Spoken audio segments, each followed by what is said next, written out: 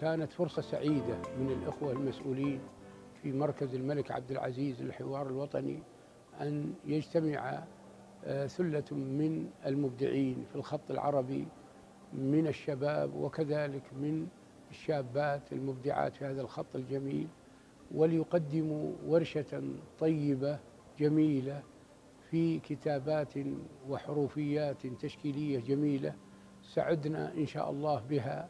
ويسعد بها إن شاء الله المركز في مستقبل الأيام. فشكرا للإخوة المسؤولين في مركز الملك عبد العزيز للحوار الوطني على هذه الاستضافة وعلى هذه الورشة وعلى هذه الاختيارات الجميلة.